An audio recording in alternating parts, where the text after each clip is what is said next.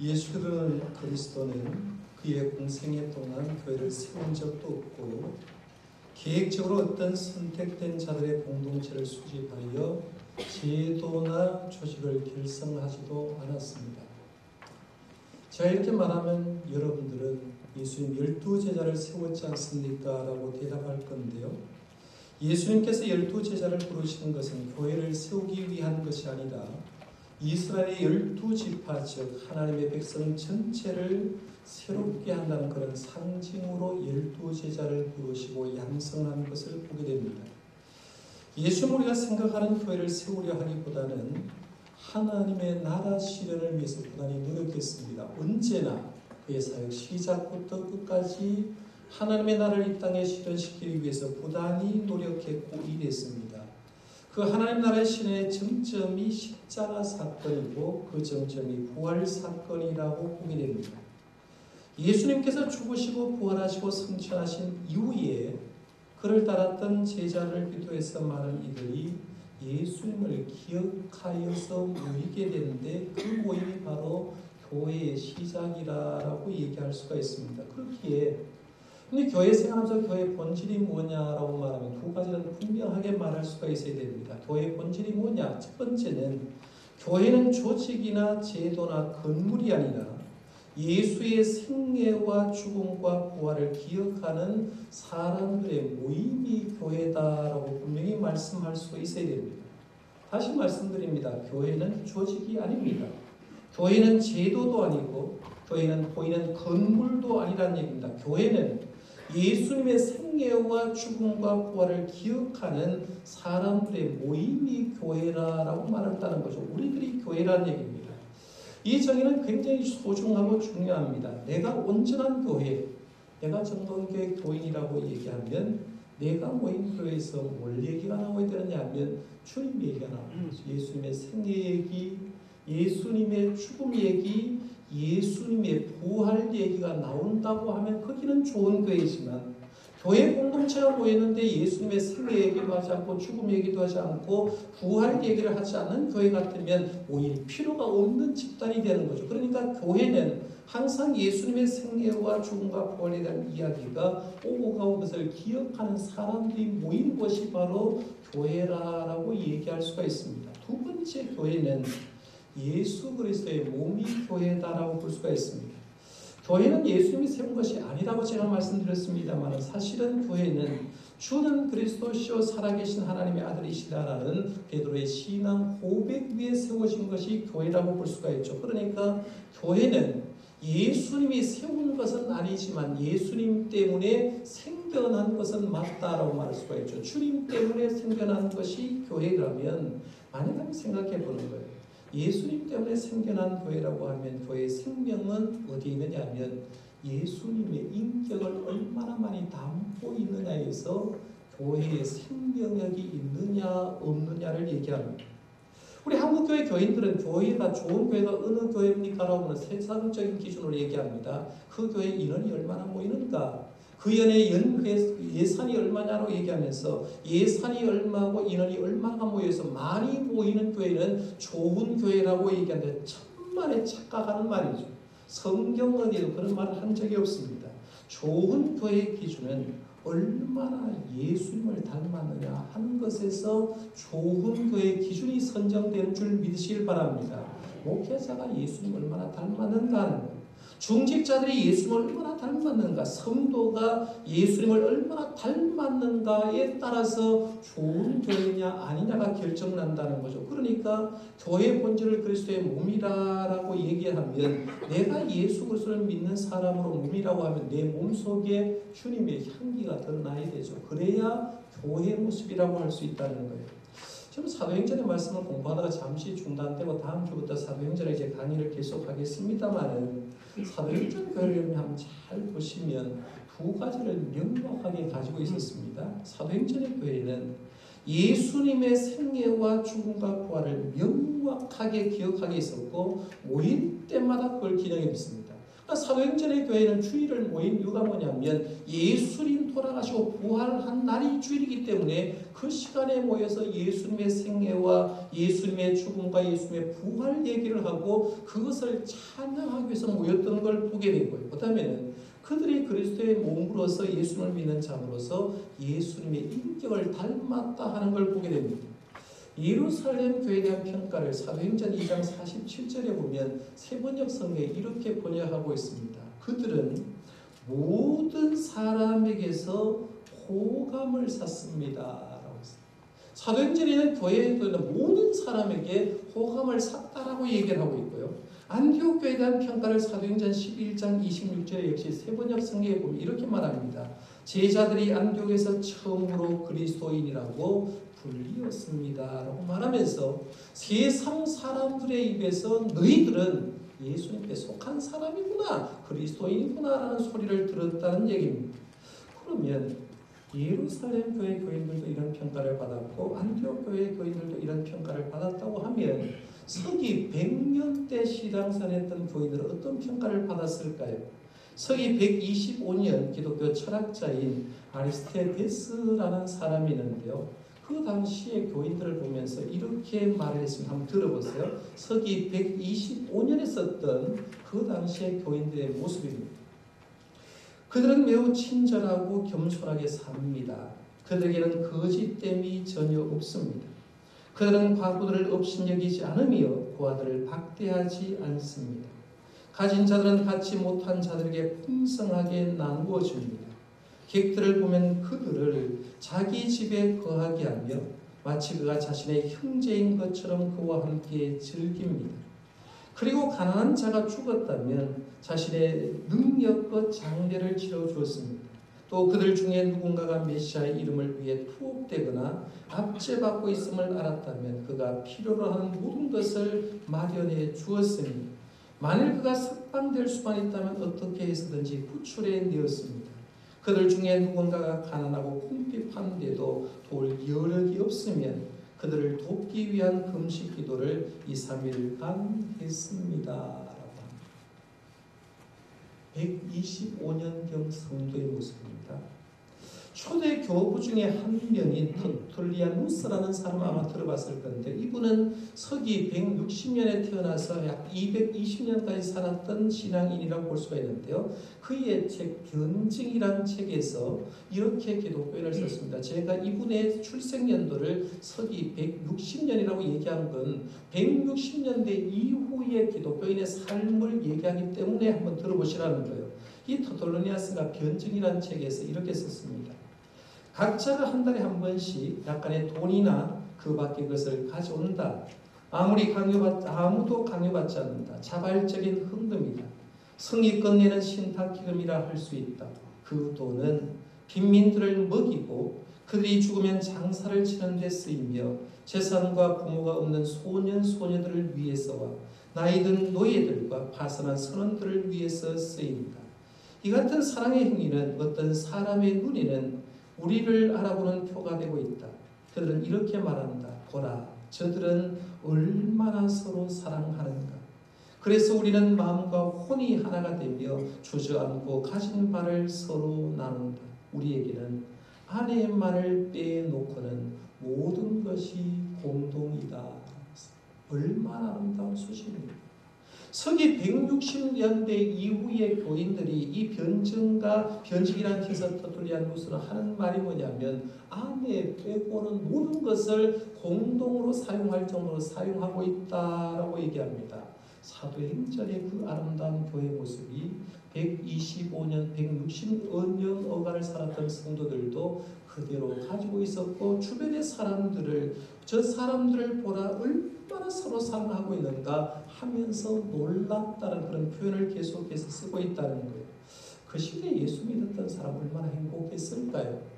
그 시대에 예수 믿는 공동체에 속했던 사람들 얼마나 행복했고 그 시대 사람들은 그 고요의 공동체에 다니는 사람 보고 얼마나 부러워했을까라고 생각해 봅니다. 당연히 부러워했겠죠. 그러면 이걸 따지고 있어 올라가는 거죠. 아 그러면 초대교회 예루살렘 교회, 안디옥 교회, 120년 교회, 160년 이후의 교회. 그러면 2018년 된 우리 한국 교회 모습은 어떨까? 지금 우리가 섬기는 우리도 교회 모습을 갖추고 있는데 예수님을 믿고 예수님의 부활을 인정하고 예수님을 인정하는 우리들이 교회인데 과연 우리들의 교회 모습은 어떤가 한번 생각해 볼 필요가 있죠. 한국 교회 모습은 어떨까요? 여러분 한번 생각해 보십시오. 지금 한국교회 모습은 세상으로부터 칭찬받기보다는 비난을 듣고 있다는 걸 너무나 알고 있고 인정하고 있습니다. 홍성태 교수님이라는 분이 계시는데 상지대 교수님 2010년도 쓴 스스로 신이 되려는 장로 대통령이라는 책 내용 가운데 이런 내용이 있습니다. 한국교회 문제점을 분석한 부분인데 한번 들어보시길 바랍니다. 사실 한국의 기독교는 많은 문제를 안고 있다. 시커먼 밤하늘에 둥둥 떠다니는 시뻘건 십자가의 반문화적 형태. 좋은 말씀을 전하러 왔다면 남의 지문을 멋대로 두드리는 외판원적 형태. 거리와 전천에서 멀쩡한 사람들을 죄인이나 바보 취급하는 비정상적 형태. 수천억 원의 돈을 들여서 거대한 교회를 짓는 경쟁에 골몰하는 개발꾼적인 형태 수많은 신도들의 공유지인 교회를 멋대로 자식에게 세습하는 반민주적인 형태 다른 종교를 배척하는 것을 넘어 아예 파괴하려 드는 비종교적인 형태 이권과 권력을 위해 정치권보다 더 강력히 정치적 활동을 몰두하는 세속적 형태 등은 그 중요한 예일 것이다. 의식이 있는 사람이라고 하면 오늘 한국교회가 문제가 있다라고 얘기할 겁니다. 분명히 오늘날 한국교회 모습은 사도행전에 나타난 그런 교회 모습은 아니거든요. 기독교 변경장들이 본 초기 교회 모습과도 분명히 아닙니다. 그런데 우리는 교인이라고 얘기하고 교회 다닌다라고 얘기합니다. 어쩌면 주님 보실 때 교회된 우리의 모습이 변질된 괴물 괴물과 같은 모습은 아닐까라고 생각해 보는 거죠. 괴물과 같은 모습을 가지고 있으면서 내가 교인이라고 내가 교회 직분자라고 얘기할 가능성이 굉장히 많다는 겁니다. 그 괴물 같은 모습이 저는 저의 모습일 수도 있고 여러분의 모습이 될 수도 있다라는 얘기입니다. 이런 안타까운 교회 모습을 보고 우리 교단이 안타까워서 지난해 우리 종교계 500주년을 맞아서 교회표를 다시 거룩한 교회로라는 표를 가지고 1년 동안 지내왔습니다. 우리 교회도 총회표를 그대로 써면서 다시 거룩한 교회 모습을 회복했으면 좋겠다 싶어서 열심히 노력했습니다. 루터의 95개 논제를 수요 성령 기도회 때마다 한 논제 한 논제 다 생각했습니다.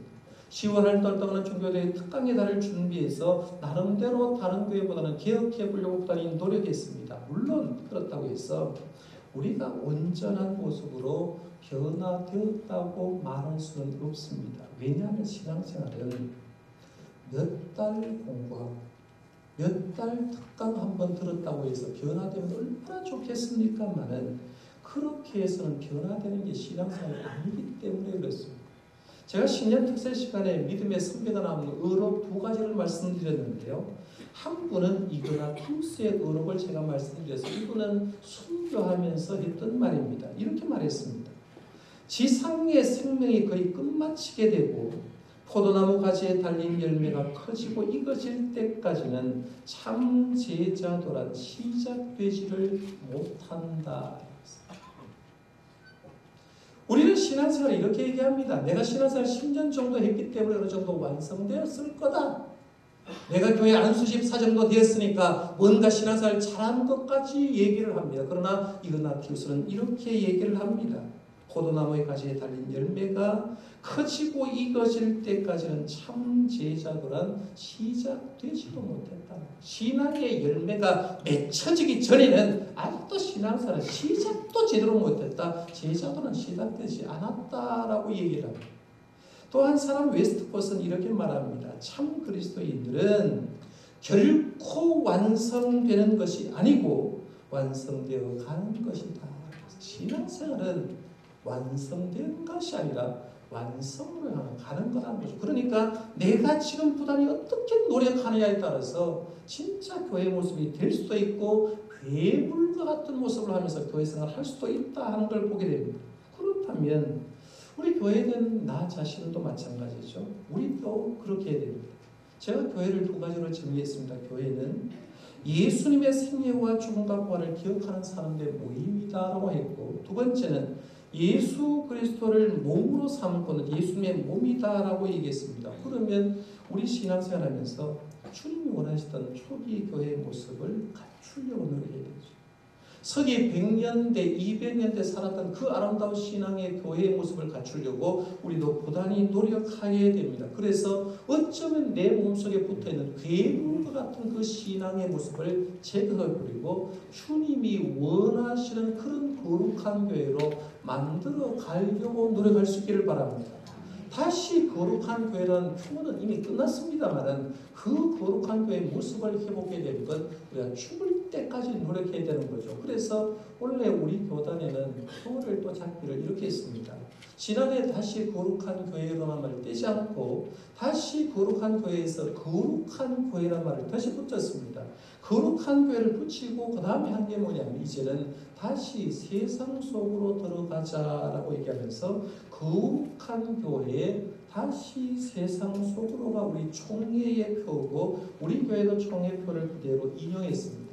오늘 첫 시간이니까 한번 같이 읽어보겠습니다. 시작. 거룩한 교회 다시 세상 속으로 한 번 더요. 거룩한 교회 다시 세상 속으로 이제 한 교회가 예루살렘 교회처럼 안디옥 교회처럼 세상의 영향력을 주는 교회로 다시 가능하자라는 그런 의미로 이런 표를 정했습니다.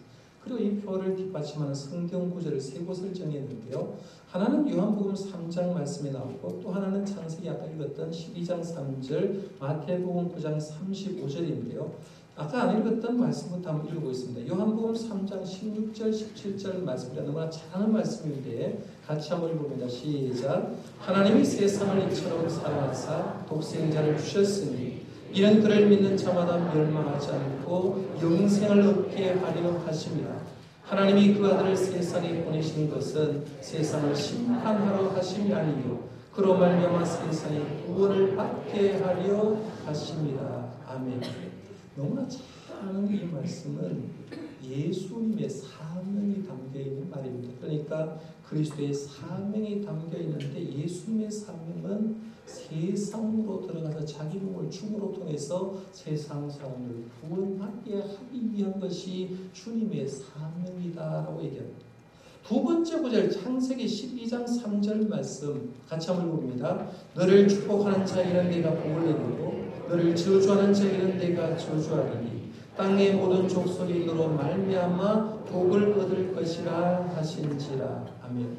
요한복음 3장 16절 17절이 그리스도의 사명이라고 하면 창세기 12장 3절은 아브라함의 사명이라고 할 수가 있죠. 아브라함이 하나님께 부름받고 이 아브라함이 오늘 말씀에 보면 복덩이와 같은 존재가 되어서 네가 가는 곳에 복이 임할 거다. 네가 저주하는 곳에 세상이 저주를 받을 거다라고 하면서 너로 인해서 세상에 복과 저주가 임할 거다라고 말하면서 네가 복덩이의 사명을 받았다.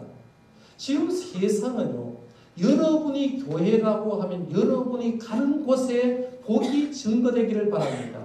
여러분들의 복이 흔들어 올라가야 되는 거예요. 이게 아브라함의 사명이고 우리의 사명이라는 거예요. 그 다음에 세 번째 구절 마태복음 9장 35절 말씀 같이 읽어봅니다.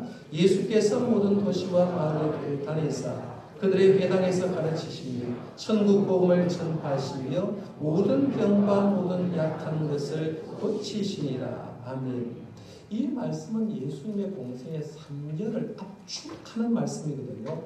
예수님의 공생의 핵심 사역 세 가지를 얘기하는데 첫 번째 사역이 뭐냐면 예수님은 모든 도시와 모든 말에 도전하면서 첫 번째 한 게 티칭 사역입니다. 가르치는 사역입니다. 열심히 열심히 가르쳤습니다. 두 번째 사역이 뭐냐면 프리칭의 사역입니다. 천국 복음을 전파하는 거예요. 천국 복음을 전파하셨다. 그 다음에 세 번째 사역이 오늘날 많이 방송에서 얘기하는데 힐링 힐링 하는데 주님의 한 사역이 힐링 사역입니다. 모든 병과 모든 약한 것을 고치시며라고 했습니다.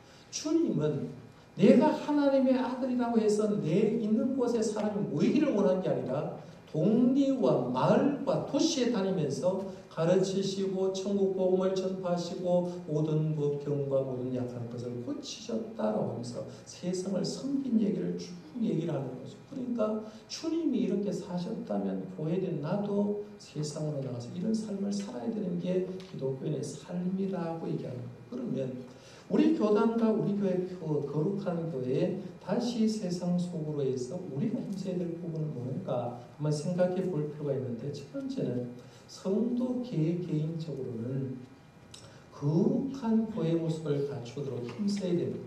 제가 아까 말씀드렸어요. 성도는 늘 예수님의 생애, 예수님의 죽음, 부활을 기억하는 자가 모였던 것이 교회라고 얘기를 하게 되면 우리 교회도 마찬가지죠. 여러분이 모인 자리에는 예수님 얘기가 나오기를 바랍니다. 예수님의 생애 얘기, 예수님 죽으심의 얘기, 예수님이 날 위해 부활하셨다는 예수님 소리가 나오기를 바랍니다. 여성도에 모이고 구역을 모이는데요.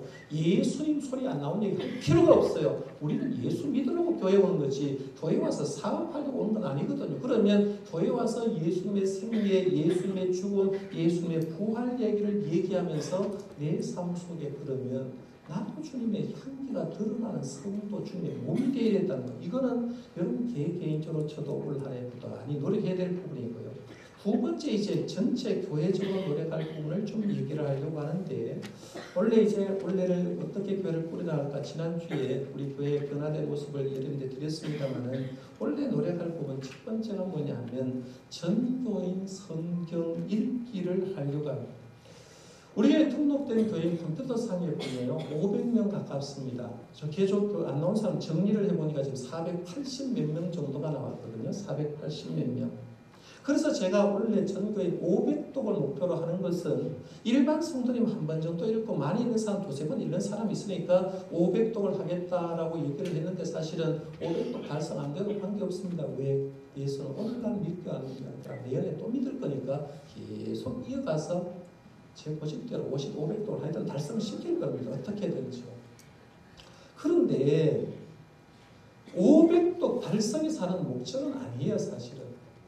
목회자가 왜 전개인 성경 읽기라고 얘기를 하냐면 지난해 우리가 배웠습니다. 종교개혁자들이 목숨 걸고 종교개혁을 한 이유가 뭐냐면 당시에 사제들만 들고 있었던 그 성경을 일반 성도에게 준 것이 종교개혁입니다. 그러면 일반 성도들 우리가 성경 말씀을 가지고 있으면 읽어야 되고 들어야 되고 성경 말씀을 내 목소리로 외쳐야 되는데 이제 하나님 말씀과 너무나 거리가 먼 삶을 살더라.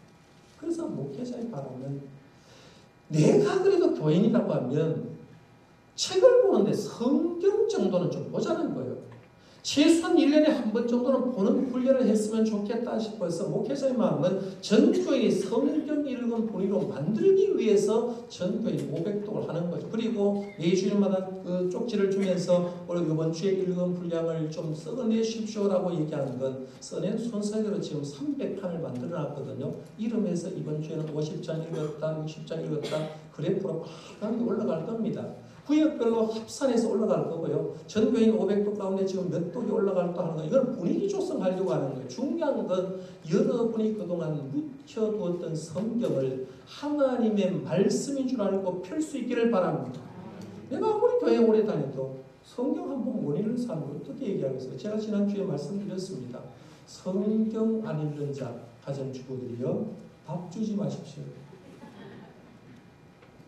하나님의 말씀도 안 먹으면서 세상 밥 먹을 자격이 없다는 거예요. 그렇다고 해서 제가 식음 전폐한 사람 우리 집에 있다고 또 얘기도 하지 마십시오. 조정하는 것도 부인의 몫입니다. 잘 하셔서 전 교인이 성경 읽는 한 해가 되었으면 좋겠습니다. 이런 교회로 만들어갈 수 있기를 바라고요. 두 번째는 역동적인 예배를 좀 드리려고 합니다. 1부, 2부 예배 때는 계속해서 사도행전의 말씀을 좀 강의하려고 하고요. 일부 예배 때 말씀을 좀 집중하기 위해서 이제 교회 소식과 헌금을 설교 전으로 이렇게 옮겼는데 하여간 설교에 좀 집중하고 말씀에 집중하려고 하고 있고요. 찬양 예배 때는 여러분 이제 헌신 예배, 주간 예배 드리고 원래는 특별히 떼제 예배, 지난해 우리 정동 한마당 축제를 통해서 예배를 드려봤는데 아마 떼제 예배를 드리면서 어, 예배 인도자가 없어도 예배 되네 기도자 없어도 예배되네, 설교 없어도 예배되네라는 걸 깨달았을 겁니다. 예배가 주님께만 집중하는 예배. 아 이런 예배구나 떼제 예배를 1년에 두 번 정도 기획하고 드리려고 하거든요. 수요 예배 때는 우리 지난번에 어, 모임시에 우리 교인들이 좀 성경에 대해서 교리적으로 배웠으면 좋겠다는 제가 건의를 받아서 교리 부분을 계속해서 강의를 하고 그 시간에 아이들은 세마 성경 읽기로 의 역시 아이들도 성경 일독하는 대로 노력하려고 합니다. 그다음 세 번째 노력하려고 하는 게 뭐냐면 신구약 성경 일독 학교를 개최하려고 합니다. 3월 달에 구약 일독 학교, 9월 달에 신약 일독 학교를 하는데 성도들이 성경 읽어도 눈 떠지지 못하는 사람 많아요. 아, 성경 보는데 재미없다고 얘기하는 사람이 있어요. 재미없을 수밖에요. 배운 적이 없으니까. 배경을 모르는데 눈 재밌겠어요? 그분들을 위해서 신구약 성경 일도학교 어 성경 읽어야지라는 프로그램을 하는데 외부에 강사가 올 거고 반액을 그래서 지원할 건데 1차 20명, 20명 할 겁니다. 전반기 20명, 후반기 20명 할 거니까요. 미리 요, 딱 준비하고 있다가 오픈한다고 하거든 20명 선착순 마감을 할 겁니다. 그러니까 전 후반기 20명씩 성경 일독 학교로 배우고요. 그 다음에 네 번째는 인문학 콘서트 우리 장은 기도하셨습니다만 계속 하려고 합니다. 금년까지 아홉 번 인문학을 했고 신학 콘서트를 했는데 원래도 세 번에 걸쳐서 준비를 했습니다. 12월 달에는 우리 한국교회를 앞장서 지금 띄우고 있는 높은 뜻 연합성교회 대표이신 김동호 목사님 공식적으로 강사로 초빙했습니다. 차분하기 참 힘든 분들인데 사실은 여러분들이 제가 교회 수준을 좀 높여놓는 건 아닌가라고 생각할 정도로 굉장히 훌륭한 강사님들이 뭐 많이 오고 있죠. 그렇죠? 그렇습니다. 그게 제 수준이고요. 믿습니까? 오늘 제가 손내거든. 그러나 들어야 될 것, 알아야 될 것, 알아야 되기 때문에 12월 달에는 김동호 목사님 모실 거고요. 4월 달에는 별 문제가 없는 날 지금 평양 과기대 총장을 하셨던 김진경 총장이 오셔서 젊은이들을 확 디벼 넣을 겁니다. 분명해요. 젊은이들이 북한 땅을 어떻게 보고 젊은이들이 어떻게 세상을 살아야 되는지 연세 많은 어르신들이 와가지고 하는 강의를 한번 들어보면서 야 믿음의 사람 가운데는 집도 이런 분이 있구나 할 정도로 놀라운 분이 와서 강의를 할 겁니다. 이런 강의가 있을 때는 기대를 좀 하시고요. 주변에 좀 홍보를 했으면 좋겠습니다. 하여간 인문학 콘서트를 하고 그다음 세 번째는 다시 세상 속으로 들어가기 위한 사역은 첫 번째 하려고 하는 게 이제 수성못과 연계해서 계속 사역하려고 하는데요.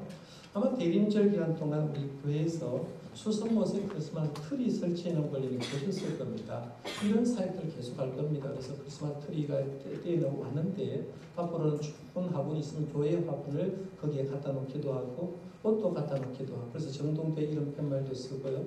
그 다음에 비가 갑자기 오는 때를 준비해서 우산도 좀 준비해서 양심 우산에서 한쪽에는 정동대 이름을 써서 우리 교회가 지역 주민들과 항상 같이 있다는 느낌을 들도록 수성목과 연계한 사역을 할 겁니다. 두 번째는 우리가 세상으로 나가기 위해서 전 세계로 나가야 되는데 해외 성전 건축 사역도 계속 하려고 합니다. 지난해까지 우리 교회가 200, 아, 28개 예배당을 공헌했습니다. 교인 300명 되는 교회에 28개 예배당을 공헌했다고 하면 어느 교회든지 깜짝 놀랄 겁니다. 그리고 지금 현재도 인도, 중국, 인도네시아, 네팔 땅에 7개 예배당이 지어지고 있습니다. 그러니까 총 35개 예배당의 헌금이 이미 지나가고 짓고 있는데요. 저도 힘들지만 선거지에 계속 가려고 하는 이유가 뭐냐면 여러분이 낸 헌금을 가지고 어떻게 지은지 눈으로 보고 생생하게 이런 게 보고하기 위해서 저도 힘들지만 가고 우리 교회가 전 세계에 이렇게 하고 있구나라고 생각되는 걸 전달하려고 합니다. 제 동기 목사님이 권사님 한 분을 모시고 우리 교회 브리핑을 해달라고 해서 브리핑을 했더니만 그 교회도 두 개를 짓겠다고 연락 와서 인도네시아 송가우 선교사님과 지금 연결해 놓은 상태입니다. 오면 돈을 붙여주려고 하는데요. 이런 해외 선교 건축 사역도 계속하려고 했고 세 번째는 농촌 미자립 교회 건축 및 도색 공사를 할 예정입니다. 지난해 우리는 여러분 알듯이 청송에 가면 청송주황산 들어가기 입구에 청송주황산 교회라는 교회가 있어요. 그 교회 화장실을 가보면서 여러분 느끼는 건 우리 교회 두 가정에서 1,100만 원을 헌금을 했고 그 화장실이 건축돼서 지금 잘 활용돼서 목회자가 너무 감사하다고 얘기합니다. 그렇게 하고요. 화장실 건축했고 안동에 있는 4개 교회, 상주에 있는 한 개 교회에서 총 6대 교회를 시골교회 토색 공사를 해주거나 건축을 해주는데 이 사역도 역시 계속할 예정입니다. 그 다음 네 번째는 사랑의 장기 기증 서약 예배인데요. 아마 여러분들이 관심이 풀 가슴을 내려앉을 수 있어요. 장기 기증하란다 이렇게 생각할 수 있는데 원래 종료주일에 우리가 세상을 떠났을 때 우리의 몸을 어떻게 사용할 건가 한번 설교도 들어보고 내 몸을 가지고 세상을 살 수 있다면 이런 서양 예배도 괜찮겠다 싶어서 준비를 하고 있고요. 다섯 번째는 우리 남성교회 간증 집회를 하려고 하는데 남성교회 주일에 똑같은 남성교회원, 똑같은 사업을 하시는 분 가운데 그 돈을 벌어 어떻게 일하고 있는지 저는 머릿속에 떠오르는 그분 한 분 계십니다만 하여간 남성교회에서 조금 강사님 찾아보시고요. 돈 벌어서 하나님의 영광을 위해서 쓰는 놀라운 분들이 주변에 많습니다. 그분 들어보면서 야 멋있게 돈 벌었나? 멋있게 돈 쓰구나. 우리 예수 믿는 사람이라는 삶은 이런 거구나라고 도전받으려고 합니다. 그래서 남성교회 주일도 한번 기억하시고 기대하시면 좋겠고요. 그 다음에 여섯 번째는 전교인 두 번 정도는 이제 노방 전도를 좀 하려고 하는데 이거는 청년부에서 올라온 건의에 사실은 청년들이 말로만 전도하지 말고 연 2회 정도 노방 전도합시다 해서 제가 그때는 청년들이 기대 딱 들고 청년들이 지역을 선정하고 청년들을 인솔하고 우리는 진리를 따라서 선수하는 그런 한 해로 만들어 가려고 얘기합니다. 그 외에도 뭐 거꾸로 헌금이나 여러 가지가 많습니다만 지난주 드리는 우리의 중점 사역을 참고해 주길 바라고요. 결론 짓겠습니다. 교회는 제도나 조직이나 건물이 아니라고 얘기했습니다. 좋은 교회는 수만 명 모이는 교회가 좋은 교회가 아닙니다. 예산이 수천억이라고 말하는 교회가 아닙니다. 오늘 우리 한국교회는 수만 명 모이는 교회, 수천 명 모이는 교회, 예산이 많은 교회일수록 주님의 의뢰에 먹칠을 하고 있습니다. 사실은 그렇습니다. 교회의 존재 목적은 언제 어디서나 예수님의 생애와 죽음과 부활을 기억하는 사람들의 모임이 교회인 줄 믿으시길 바랍니다. 모였을 때 예수님 얘기가 나옵니다. 그리고 교회는 그리스도의 몸으로서 주님의 향례를 발하는 것이 교회의 모습이라는. 이 사역에 저와 여러분이 함께 동참하신다면 우리에게 올 한해 거룩한 교회 다시 세상 속으로 들어가면 하나님께서는 우리 교회에 다시 한번 부흥의 복을 허락해 주실 줄 믿습니다. 지난 한 해 제가 목회를 하면서 느낀 건 우리 교회 하나님 축복을 베풀어 준다는 거 매년마다 수가 계속 늘어나고 있고요. 예산 늘어납니다. 그런데 올 한 해 우리 교회 목적은 예산 늘어난 것도 아닙니다. 수 늘어난 것도 아닙니다. 우리가 하나님 앞에서 바르기만 하면 거룩한 교회 세상 속으로 들어가기만 하면 보너스로 주는 것이 수가 늘어나고 예산이 늘어가는 복이 주어질 줄 믿으시길 바랍니다. 이 사이에 저와 여러분들이 힘내어서 아름다운 게 함께 만들어가려고 노력하는 저와 여러분들 되시기를 바랍니다. 기도하겠습니다.